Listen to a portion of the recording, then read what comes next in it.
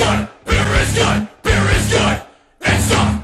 What's going on, everybody? Welcome to this episode of Beer Chasers. I'm Preston. Today we're joined by Ian Williamson, head brewer of Two Henrys Brewing. Ian, how's it going? I'm doing great. How are you? Good, my friend.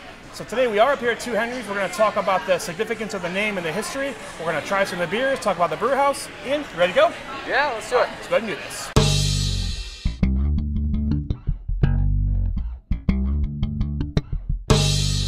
All right, so let's go ahead and jump right into it. Let's talk about Two Henrys and the name. Where did the name come from? So Two Henrys is named after Henry Plant and Henry Flagler, and those are really the two dudes who um, industrialized Florida and paved the way for um, you know the the tourist tourism and destination state that we have today. Um, Henry Plant really put the railroads through the sort of central Florida and sort of down the, the Gulf Coast. Henry Plant really did the same thing on the East Coast, and so you have um, Henry Plant's system of East Coast railways. You had, you know, Henry's uh, Henry Plant, or sorry, Henry Flagler's system Right. of East Coast railways. You had uh, the, the steamboat to Cuba, and you had the whole um, a whole deal worked out with uh, ferrying people back and forth to Cuba. Mm-hmm. Um, and so we try to incorporate a lot of that Florida history and a lot of those things into our names. Yeah, this is like late Um, 1800s. I mean, at that yeah, time we're you had, talk- you had horse talking- and buggy and Exactly. steamboats, and so these guys really paved the way to uh, have Florida really become a state of population. Before Yeah, then, it was, you know, Indians and indigenous people, but Yeah, exactly. There wasn't a whole lot here before then. Um, I mean, in the in the um, even as far back as the Civil War, we Florida was referred to as like the breadbasket of the South. There was still a lot of a lot of agriculture and things like that being grown here in Florida, and uh, you know we kind of relate back, harken back to that. We're we are on a 27 acre blueberry farm. Um, we've got you know we have a four or five acres of thornless black raspberries. We've got cows on on our farm in the back forward. We've got some donkeys back there. So we're on a farm. We kind of harken back to that, but our um, our founding um, name and everything is, uh, is related to the, the Henrys and how they built Florida into what it is. And you know, we felt like that was kind of fitting with um, building Florida into one of the craft beer destinations that we are Yeah. today. So um, the Henrys built it into a tourism destination, and we like to think that we're helping to build it into a craft beer destination. very cool. So, um, in actuality, the, the location started as a winery, Keel and Curley Winery. Yeah, so I mean, it even it started even further back than that. It was a landscaping company, and then uh, several years later, they uh, started. They decided to take out the or not landscape company, nursery. Um, they decided to take out the nursery and put blueberries down. Um, once the once we had all the blueberries, they decided, well, you know, we've got all these blueberries. Let's do something with them. So they started making wine um, out of the blueberries. Joe Keel, our founder, actually made the very first batch of wine on site in his kitchen. Right, Uh, which is like- literally right next door, right? which That- is they live in literally right house next door. yeah, to the brewery. absolutely. Yeah. So it's I don't know. It's, it's a pretty good setup. He rolls out of bed and he's at work. Yeah. Um, at the same time, that dude's he's the hardest working dude we have Yeah. because you know he ro- he rolls out of bed and he's at, at work. work, yeah. Yeah. Um, yeah. So it's you know it was a blueberry farm and then we opened the winery maybe 13 or so years ago. Um, about three or four years ago, we started deci- started trying to open the brewery. Um, we worked a little bit with Cigar City, and uh, I think the first batch of our Seven Mile Bridge IPA was actually brewed on the Cigar City system over in uh, over in Tampa. And then when they wanted to start brewing, making cider, to make cider you needed a winemaker's license, and we are the closest winery to Cigar City. Right. And so they came over here and they made their first few batches of cider over here. cool. Um, and so once they did that, we also kind of got the cider bug, and so we started making Yeah. cider. We started making our own cider, um, and so now it's you know there's wine, beer, and cider all made on site, and we've actually just started dabbling in uh, some meads. Okay, So cool. we're gonna start looking at making some meads in the near future. Very cool. That's cool the way that the, the location's set up. You kind of have the wine side over here, then you have the, the beer and cider side or the other way around. Yeah, But it's kind and of e- cool. and even in our tasting room, you know, you have um, we kind of you can you can order anything you want from regardless of which bar. But we have two bars in here. One is uh, very obviously is more of a wine bar. We have the wines and all all the medals that we won for all the wines displayed behind it. On the other side, we have um, the beer side. It's very obviously more of a beer-oriented side. But you can order either one from either side. But we try to we try to really play up that dichotomy and that we have all of these things to offer because we're on such a great location. Very cool. How did you get involved in brewing and home brewing? Um, I started homebrewing in 2010, right when I graduated from college. Um, I had kind of started researching it and looking into it uh, as I was a senior in college, and I was living on campus at the University of Florida, and so you can't really. They kind of discourage making making alcohol on campus. Yeah. um, so as soon, but as soon as I moved off campus, I started move, making my own beer. Uh, that was basically 2010. I Did did you start all grain right off the bat, or did you, did you start with uh, my or- very first batch was actually my very first batch was a Mr. Beer kit. okay. So that's I where I started. so- yeah, that's where a lot of us started. Um, really bottom of the barrel. I think we did that for one batch, and we're like, Yeah. we can do this better. Yeah, I did And maybe so- eight or ten, and I always got the same tasting beers. It was my beer; I was proud of it, but it was definitely you know just yeah, there's not in. there's you know, not much like- to it. It doesn't it doesn't have that tangible sort of feel Yeah. to it where you're like, oh man, I this is handmade. Right. Um, it's kind of like just mixing stuff together. It just doesn't Yeah. feel quite as satisfying. Um, so I did that for I think one batch, and then we were like, nah, man, we need to go. We need to go all grain with it. Um, right so in. and yeah, just dive right in. And we started brewing all grain. Um, like I said, back in like 2010, and I did that for five or six years, and then um, I was living up in Gainesville at the time. I had been to, I went to the University of Florida, and uh, I was living there for a few years after that. And my roommate and I were home brewing. And then uh, Plant City is my hometown, and when uh, an assistant brewer position came open here, uh, I just I jumped at the opportunity. I Yeah. you know I sent my resume in, and I, I happened to know one of the guys who was working here at the time Always helps. and it always helps. Yeah, and I sent him my resume. I was like, hey, I don't know if I need to send it to somebody else, but here's my resume. Let me know what's up. And he's like, he just responded back almost immediately. He said, yep, you have you have replied to exactly the right person. Um, we will do an interview tomorrow. Great. And it was it was it was less than like two days, and I was hired. So. Uh, really, it was a sort of a right place at the right time Right. kind of situation. Cool. So you can talk about the uh, the brew house setup here at uh, Two Henrys. Yeah, so uh, we still are on our original brew house. It's a seven barrel brew house, um, so it's about 220 ish gallons. Okay. Uh, we started off with uh, three seven barrel fermenters and a seven barrel bright tank. Um, pretty soon after that, we graduated a little bit and we installed two set, two 15 barrel fermenters, so Right. um, double brewing into those or brewing twice into them. Um, a little bit after that, we graduated to a 15 barrel bright tank. The 7 barrel bright tank went over to the winery and became the bright tank for our ciders. Um, after that, we got you know three. We got a few more 15 barrel fermenters, and then a few more 15 barrel fermenters, and then a few more 15 barrel fermenters, um, and then we got a 30 barrel fermenter this right, see year. where this is going. Yeah, so uh, we've, we went from having a fermentation capacity of about, six, let's see, uh, 700-ish gallons to now we have a fermentation capacity of uh, a couple thousand gallons. So a lot, uh, pretty pretty significant increase. We've got 17 fermenters and it's uh, Brewing daily, juggling. Monday through Friday. Monday through Friday, yeah, we're uh, we're in our slow season right now, so we're only single brewing most days. Okay. Um, in the busy season, we'll be brewing four, we'll be double brewing four to five times a week just to keep up. Yeah, so I think we, if we mentioned it, we glossed over it, but this is a huge campus. I mean, this isn't just a brewery. You guys actually have a Oh, farm. There's blueberries back there. Yeah, you know. absolutely. It's a it's a huge property. It's about 27 acres in total. Uh, we've got four or five, uh, I think three or four acres of thornless black raspberries on site. We don't really harvest those, but we do open them up to you pick um, when they're in season, Okay. which is late May to June. Um, we have about 20 acres of blueberries. Um, which we'll harvest those. We'll use those for some of our beers. We'll use them for certainly for our blueberry wines that we make on site and our blueberry cider. Um, we do a lot of stuff with blueberries. It's kind of it's kind of our shtick. Yeah. Um, and then uh, we- we also have some. We have four or five cows on site. We got a couple donkeys. uh, I think that's it. But there may, I don't know. There, there Yeah. may, there's probably plans. it's not for just a brewery. Else. I mean, No. it- it's really cool to come out here and check it out because again, you know, I've done the brewery tours before, but this is not just a brewery tour. You get to walk through the farm section, Yeah. see everything. You know, that's it's really cool. It's definitely something different Absolutely. and unique. Absolutely, it's a kind of a unique spot. I feel like we get a little bit glossed over by um, just because of our location. So when peop people are traveling in Florida, north south, uh, you basically they're either going through the Turnpike, which is in Orlando, or you're going through I-75, which is in Tampa. Right. And so we're kind of in between the two, Yeah. and so. Uh, we kind of get glossed over a little bit, but it's a great destination, and we have Yeah. beer, wine, and cider on site. We just um, installed the restaurant. Uh, Right? So you got a lot of food. back in I, I want to say April we, we put the restaurant in. and It's been it's blown up so far. Um, and it's doing really really well. Very cool. Well, I've got some beers in front of us. Let's let's talk through each one and have a sip of it and kind of see what we have. So first up, what do we have here? The one on our left is uh, probably our flag. It's our biggest flagship beer. It was very the very first one of the very first ones that we brewed. It's a German style Helles lager. Yeah. Um, it's brewed very very traditional ingredients. Um, German Hallertauer hops. Uh, German. Uh, Lager yeast. It's very, uh, basically as traditional as you can get. The name is Gilded Age. It's the Gilded Age Golden Lager. Yeah, it's um, yeah.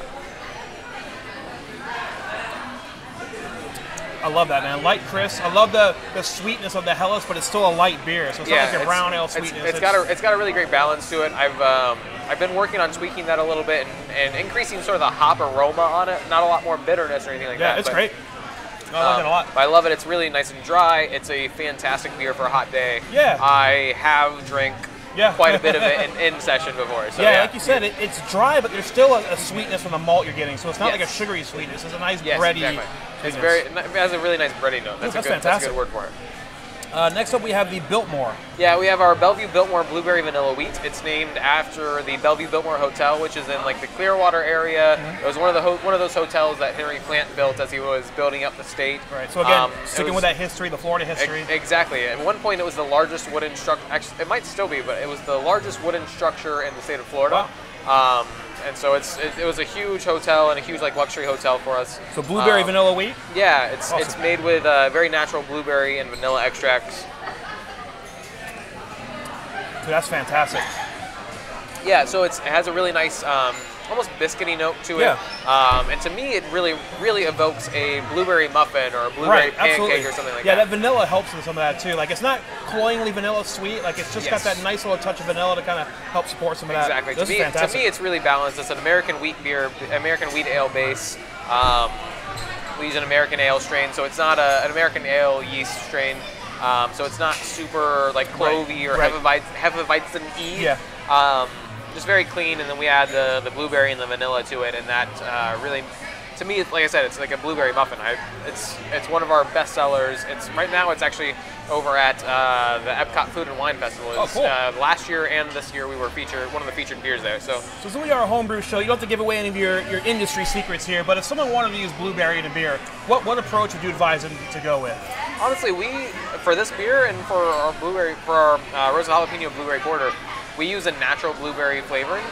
Um, but I would, I mean, I would definitely go with a, you know, just add it in secondary fermentation and.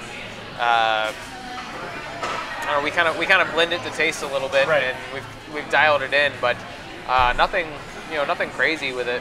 It's What do you think on like basic. pounds per gallon, or if you want to make a five Oh, gallon geez. batch? Because I've heard blueberry, it's very faint. You have to use a lot of it. Yes, so exactly. So that's exactly why we ended up switching over to using uh, like a like a flavoring for it instead of using um, real blueberries. Uh, because for a blueberries don't taste like blueberries once they ferment out. Right. They they have a very earthy flavor, um, and so you get sort of like a faint blueberry kind of note, and then just like a very real earthiness to it once they ferment out. Um, so if, if you're gonna use if you're gonna use any kind of fruit in a beer, you've got to use way more of it than you think you're Right. going to. Um, with the exception of like I don't know orange peel and stuff like that, because right, that, right. that stuff goes a long way. Yeah. but Those are more know, oily than anything, anyway. Exactly, you're getting that uh, that the you know the uh, essential oils and stuff Right. out of the skins and things like that. But with blueberries, strawberries, raspberries, things actually raspberries come through pretty well. Yeah. But blueberries and strawberries especially, we've done because we're in Plant City, we've done a few, we've done Right. several beers with with strawberries. You get a bushel of strawberries for like four dollars. My uh, my dad's whole family is actually strawberry growers. Oh, so last year we did a strawberry saison, and uh, I went to my uncle and I said, "Hey, can I have some strawberries?" And he was like, "Well, how much do you want?" And I was like, "How much can I have?" And so we, we, ended, we ended up juicing hundred pounds of Holy cow. strawberries Yeah. and adding that right into our saison. And it, Nice. came, it came out really well. But even 100, 100 pounds of strawberries in a 200 gallon batch Yeah. was kind of faint. Wow. So I mean, if you're using real fruit, and it's, it's gonna it's gonna take a lot to really get that flavor. Right. Um, yeah, So cool. So next up we have a triple. Yeah. So it's I a- love my it's- Belgians. It's a pretty traditional Belgian style triple. I there's a little bit more hop profile than is, Super is clear. normal. Yeah, I, that's one of the things we've been working on in the last six months or so is making the beers a little bit clearer. Yeah. Um, not just for a uh, aesthetic purpose of they, they look better, but I've, I, we've really noticed that, especially with uh, our IPA, that on the batches that come out clearer, it actually just tastes cleaner. Yeah. Um, and you, you get a really a much cleaner hop profile out of it and Yeah. stuff like that. So we've really been working on um, clarifying the beers, and you can see most of these are Yeah. they're all very they're all very clear with the exception of The your wheat, wheat of beer. course, it should be. Wheat- Cloudy, and then yeah. obviously your porter is Yeah. is is pretty dark, but Cool. So this is pretty pretty traditional style Belgian. more or less traditional. I was um, perhaps, perhaps a little bit more hop forward than uh, Yeah. than might be than might I'd be agree with that, but- traditional, but It's America. You're allowed a little bit of hop. it's America. America. Yeah. No, it's pretty Exactly. good. Exactly, I love it. It's uh, Cascade hops, and I think there's some Citra in there as well, and Okay. you know, you get a little bit of that nose, that citrusiness to it. Yeah, but, but I it's nice. you still get some of that like the, the bready sweetness from the yeast, but uh, the hop balance is actually nice. If you watch our show, people do No, I'm not a hop guy. I really don't like hops. I'm more of a multi sweet guy. But when used in balance is always the key, and that's nice. You know, it's, it's a little Americanized, but it's with the right touch of balance. Yeah. You didn't you didn't bastardize it and put you know six ounces of dry hops in here. Yeah. Or, you know whatever. Hon- be, honestly, my my inspiration for that beer, or one of my inspirations for that beer, was uh, the Coppertail Unholy Triple. I love that beer. Any, I live over in the Ybor area. Yeah. so anytime I am at Coppertail, I have at least one pint yeah. of the And Unholy. that was definitely Americanized. Oh, absolutely. I, I, I dialed back a little bit from Yeah. that and went a little bit more traditional from that. But uh, that was kind of one of my one of my jumping off points for when designing that recipe. Is that Yeah. I love that beer. It's really great triple. It's got a great uh, great alcohol warmth to it, but it also has great yeast character. Um, and so that's one that's one of the things that I'm really big about is having um, good beers with good yeast character. Yeah. I love that because That's really what makes a beer, because as brewers, we make wort. The yeast make the beer. Yes. It's really important. Yeah, so it's it's. I think it's easy to throw like hops out of beer and get a really hoppy beer. Sure. Uh, obviously, like and, you know, it takes some skill to balance it and Right. to finesse the hops to be balanced with the malt. Yes. Um, but the yeast character to me is one of those one of those things that I love. There's Yeah. no way to there's no way to get that other than using the right yeast and Taking care of 'em. and taking care of them. Exactly. Very cool. So what we got Yeah. next? This the I next one is read. our Seven Mile Bridge. Oh, Seven it's Mile, our yes. flagship beer. Um, it's probably our number. It's probably our number two seller, right behind the, the Belleview Biltmore Blueberry Vanilla Wheat, um, and just just does edge out the Gilded Age Golden Lager by like a very small margin. The Seven Mile, that's a railroad down south, again built by Plant or Flagler. Henry Henry Flagler built the Seven Mile Bridge. Um, it's a bridge to Key West. At one point, it was the longest overseas railroad in the world. Um, and yeah, Yeah. so we so we named it back named after that. Sort of harkened back to you know the Henrys, uh, back to our roots. Yeah. And, Again, uh, I love this the history of it that you're tying everything with Florida. Yeah. I'm born and raised here. I, I love the state. You know, other than now in the summer it's miserably hot. You know, I, I curse that every summer, but you know, it's still my home, and I, I love Yeah. I love digging into the history. And again, it blows my mind. Absolutely blows my mind that this is like 125, 130 years ago. I mean, we're not talking like Yeah, not, centuries not really, ago. Not you know? that long ago, Yeah. honestly. Uh, I, I looked it up the other day just to see. We were talking about doing a uh, like a pre-prohibition pils or Oh, something cool. like that. Um, we were like, well, would the Henrys have even been around during Prohibition? Right. Because honestly, I couldn't remember. Um, but apparently, they were like 1890 to 1910. That Yeah. kind of that kind of gap. They Um, probably just missed it. Prohibition, like the well, it started in the 1910, 1913 or yeah, something so like that. yeah, so uh, I think 1921 or something was like Okay. the first year of prohibition. So, but like Yeah. the the prohibition movement kind of started in the 19, Right. Okay. 1900s.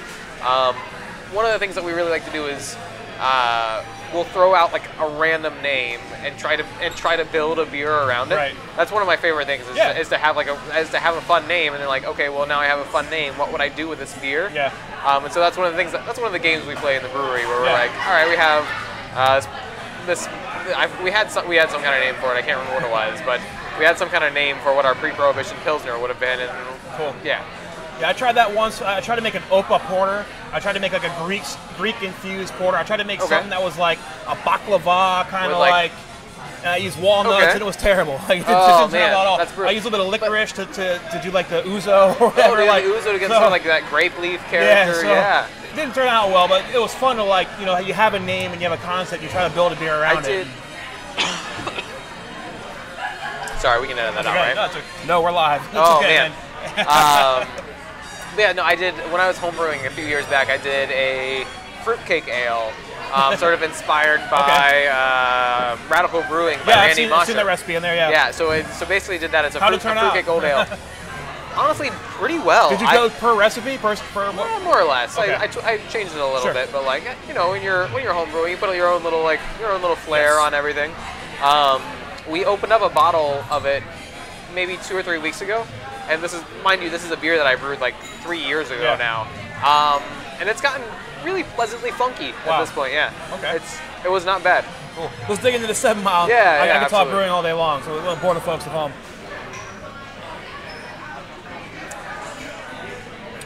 That's nice, man. It's not. it's balanced again. Like I like IPAs when they're balanced. So this is this is another good example of just how everything here is balanced. It's just the right touch of this, right touch of that. Yeah. You said it's English style, so it's a little sweeter. Yeah, we, we, we, we bill it as an English style IPA. It's a so it's a little bit darker, a little bit maltier. Um, we use some uh, some Victory malt in there, so you get a really nice biscuity kind Right. of quality to it. Um, but we definitely put an American flair on it. The, the, the bulk of the hops are Cascade, Amarillo, um, Simcoe is our dry hop on that, and so you know there's definitely a Simcoe nose, so you get a little Yeah. bit of that pininess, Yep. a little bit of that resiny uh, quality to it, and so I've just started doing IPAs myself, so I'm starting to learn a little more about the hops and yeah, yeah, Simcoe and that pine and awesome. All right, this one I'm very interested in. This is this is your funky beer. This is this is this is our weird beer. It is a core beer for us. We basically always have it on. Um, and we, we actually just started putting this out in cans Cool. um, into the market in uh, I guess that was July, so a couple months ago that we started sending them out in cans into the market. Uh, so we're available. We have this available in, throughout um, throughout Hillsborough County, Pinellas County, down towards Naples a little Okay. bit, and we are, we're also started sending some over towards Orlando. So Great. this is out and around. And you're on the and, um, corridor. I mean, you got to be able to get something up to Orlando. Yes, exactly, exactly. Cool, So, so this is a roasted um, jalapeno- roasted jalapeno blueberry, blueberry porter. porter. Awesome. Um, yeah, I gave a shout out to Mike here, beer chaser Mike. Likes weird beers but doesn't like pepper beers. So, but Well- it's actually pleasantly balanced. Again, everything here is balanced. Keyword balance at Two Henrys here. yeah, Um, absolutely. You just get a little bit of that pepper kick, but it's not uh, annoyingly hot. The more you drink of it, the more you get the pepper Yes. kick. Um, it's definitely blueberries up front. I- It's a, it's a Yeah. very blueberry nose. Um, you get a little bit of that pepper kind of scent, and then um, a little bit of smoke character comes through Yeah. from the roasting of the jalapenos. We do use a little bit of smoked malt in there, so you get a little bit of that sort of reinforce the smoke character. The, the porter carries it well. That style carries it very well. 'Cause I think if this was in a lighter style, it'd probably be lighting my tongue up a lot more. But because that Yes. the darker Yeah. style, it kind of subdues some of that uh, Absolutely. jalapeno. It's actually really good. Um, all around, great stuff. No, nothing in here under you know a three and a half or a four. I mean, these are really great beers. Good style, balance. I mean, That's that's one of the things that we really strive for is to be balanced. Um, we're in Plant City, and so I know we have sort of a we have sort of a reputation for you know light beer drinkers and things like that. Um, and so we kind of uh, we kind of try to strike a balance between crafty and the light beer drinkers. So you know, obviously at this end we have our Helles Lager, which is pretty, Yeah. which is super accessible for German. We got some anybody. German stuff. It's a German style, but it's also you know it's it really easily accessible for you know your macro beer drinkers and things like that that come in here and they want um, you know they want your your macro style. These are like a transition beers, like for your father-in-law who Oh, only drinks like Bud. Light. Absolutely. Like you can get them to drink like the Helles That's lagers. And this is the only beer my dad drinks that we make, and you know for my now. for, you, well, you might get him into yeah. this weed eventually. Yeah, yeah. I'm trying. I'm trying to get him get him to go that direction, but we'll see, we'll see what happens. But you know, it's really nice. It's really great to have that option available for uh, for people who come here for the winery. So you know, uh, that's that's one of the things that's it's it's sort of stereotypical, but a lot of times we have people where guys where you know their wife dragged them to the winery, and they come here and they're like, oh, Oh great, my you God, got oh my beer." god, you have beer too? Okay, great, let me get a Bud Light. Well, we don't have Bud Light because we only serve our own beers here because why would we serve Bud Light when we have our own beers? Right. But we have, You you know, stop. Where do I? Why do I got to serve Bud Light? Just stop there. well, I, you know, I always tell people like pe- people like what they like, and Right. you know, it's not, it's, I don't need to proselytize all the time. right. Um, but uh, so yeah, so that's a great transitioning transitionary beer for me. I can drink a lot of that. Yeah. It's a it's four and a half percent alcohol. Um, on a hot summer day, you can Yeah, you can great. drink you can drink it in mass. It's a great beach beer. Um, and then we have you know your fruity beer. Yeah. We have some Belgian styles. We got the IPA. We kind of we try to hit all of our bases Yeah. as much as we can. It's, it's a Um, nice variety. Um, I love the fact you got some German beers. A lot of people overlook German beers. I know a lot of lagers, they take Yeah. longer, you got to baby them a little more. But I've always liked German stuff. You have a Belgian here, you have an IPA, you have some funky, you have some fruity. I mean, So I, I, I am the third head brewer at Two Henrys. We've, we've had uh, some we've had some turnover there. Yeah. Um, our first head brewer was uh, Clay Keel, um, Joe's Joe Keel's son, as in Joe Keel and Curley. Um, and so these two beers are from him. uh-huh. Uh, our second head brewer, Scott Schuler, um, who has since gone on to uh, a brewery up in up in New York, and uh, he was a big. He's a German guy. His German was he was tradition. Uh, he was his heritage was German. Um, and so he was really big into brewing um, traditional German lagers, and so we have our Helles lager, and then I think my my touch on it is the, is the Belgian style. So if you Cool. this is a, this is a pretty good representation of the things that we have done so far. I love Belgians because they're they're simple, right? I mean, the Belgian triple, 90% Pilsner malt, 10% sugar, the right hops and the right yeast. There's a, But- there's, there, there's a little bit uh, there's a little bit of melanoidin malt or honey malt Yeah. in there You as can- you can well, do that. and like a little. Just but it's still very high level. body. It's one or two grains, some Yeah. sugar, but it's all in the process That's- and, and how you, you culture the yeast and take care Exactly. of the yeast and you age it. So it's simple but complex. Exactly. That's one of the things that I've really been striving for in the last six months or so since I took over, is that I wanted to, I wanted, wanted to brew things that are simple but delicious. Yeah. Um, and there's a lot of the traditional stuff that's traditional for a reason. Um, now, as going forward in the future, I'm gonna start. We're gonna start branching out a little bit and doing some more, not necessarily funky stuff, but it's a little bit different. Um, I, I'm working on a. We've got a, a Weizenbock uh, in, the, in the fermenter right now. More It's- German? Yeah, more. It's more German, but it's a little bit of a different style. You don't Yeah. see a lot of them. Right. Um, so it'll be about. I love a good Weizenbock. there, there aren't that many of them out there. You basically have um, there's a Weihenstephaner, Right. um, Weizenbock, Vitus. and yeah, uh, and then there's the Aventinus, Right. Um, which from I think Einger. Yes, Yeah. I believe so. Yeah, so those are those are really the only two you find out there. We're gonna do it a little bit. I just Uh, brewed a Weizenbock two months ago. So there's three. No. oh, there you go, there you go. Um, we're gonna do it a little bit like a almost like an imperial version of our Belleview Biltmore. So I'm gonna add some vanilla to it, some, Oh, okay. some blueberry. Oh, wow. Um, I'm debating whether or not I want to oak it or not. We'll see what happens. Ooh, We'll see. okay. So we'll get some. That's funky. Yeah. So yeah. So sort of branching out there a little bit. Um, I definitely want to do. Um, uh, I want to play around with like a purple beer. I, want, I just want to make a purple beer for. Something uh, purple. Yeah, something purple. Um, I know there's been a couple breweries out there. that- Anniversary of Prince's death, the Purple Rain. There you go. Oh Sells man, itself. that would be great. Yeah, I was I was actually thinking about that on my drive here. Whether I wanted to do whether I wanted to do it with beets or I wanted to do Ooh. it with uh, purple sweet potatoes. And Okay, I don't I don't know which one to go with, but uh, that's one of the things I'm kind of playing around with in my head. So we've Yeah. got you know we definitely want to get more into. Um, some of like the more interesting stuff and things like that. Right now, we've, we're right now we're going through sort of a transitional phase, or uh, not transitional, traditional phase. Uh-huh. Um, yeah, definitely playing around with some of the things that we've got. Um, Well, it sounds like there'll always be something new to kind of come back and try. You got some really great staples. absolutely. And that's pretty much going to wrap it up. Um, what's looking forward for Two Henrys? Like, you know, besides some of the beers you're talking about, anything brewery-wise? Are we getting into to further distribution? Are you expanding the brew house at all? Or Yeah, so in uh, so we just started looking at um, building out our new brew house um, up in the uh, just just a little bit north of Tampa. Um, I can't remember, I can't remember what the area is called, but sorry. Um, so just a little bit north of Tampa, we're going to be looking at uh, building out a new brew house. We're currently we have a seven barrel brew house. We're looking at building about a 20 barrel brew house, so quite, pretty significantly larger, um, which will allow us so to off off-site though? off-site from here. Yeah, we're we because we're on a farm and we're in Plant City. We had, kind of have a weird zoning restriction. Makes Uh, sense. we have a cap on There's the always something going on with the brew laws. I mean, there's there they're all the um, the teetotalers are always trying to screw the breweries, and Yeah. so um, you know we're, we're we have some weird restrictions here because of where we are. Right. Uh, we can only produce X number of barrels Yep. per year, and if we want to go over that, we really have to go off site. Okay. Um, and so we're gonna we're looking at building a new brew house out. And uh, which would which would mean some pretty significantly increased distribution, Sure. which would be awesome. have you guys thought about using something like Brew Hub, or you guys just you're just ready we, to go? We thought about your doing own? Brew Hub. Um, the commitment at Brew Hub was actually pretty high. It was, Okay. Um, they, a they were booked up. Yeah. Like you had you had to get in We know Cigar City's in there, so they're probably pumping So a lot of they're pumping out. out. They're pumping out basically any of the Jai Alai that you get in cans. From my as far as my understanding goes, Yeah. I don't.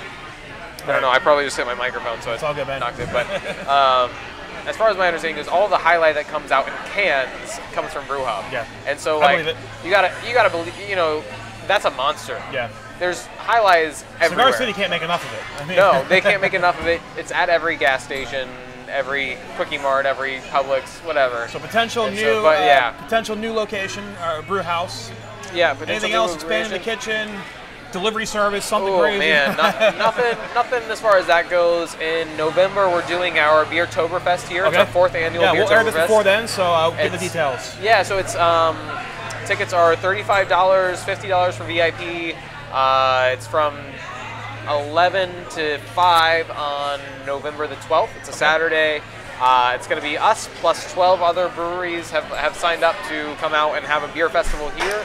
Um, last year we had last year we had a great turnout. We're hoping for an even better turnout this year. Pay your admission, come and try all the beers you want. Exactly. What's yeah. VIP get you? VIP gets you early access. Okay. Really, um, and there, we haven't hammered out all the details on it. There may be some other stuff on there that I don't really know. VIP get to use the inside bathroom. Non-VIP got to use the portalets. Yeah, pretty much. Or somewhere on the farm. Yeah, somewhere on the farm. you know, we got we got lots of space. You can find you can find a private spot. Um, yeah, so we've got Beer Toberfest coming up in uh, in November, and really just you know pumping out more of pumping out more Biltmore. That's the one that's Yeah. that's the one that's that's Can't make enough of it. going over- I can't. I literally cannot make enough of it. Ian, thank you so much for your time and your Absolutely. hospitality, man. It's been a pleasure up here. I mean, the man led us on a personal tour back here. I mean, it's, it's not just a brewery; it's an entire facility. It's Farm, experience. winery, brewery. I mean, Yeah. really cool. So I mean, come check these guys out. Great hospitality, great beers, great location. I mean, everything here has been great. As we say, great, great, great, great, great, great, great all around. it's all great. In closing, is there anything you want to tell the Beer Chaser audience? Oh goodness. Um, drink more two Henrys. There we go. Ian, thank you again. Appreciate it very much. Thank That's you. going to wrap it up. I'm Preston. Ian, we are the Beer Chasers. We'll see you later. Beer is good, beer is good, beer is good. And stop. Beer is good, beer is good, beer is good. Let's go drink some beer.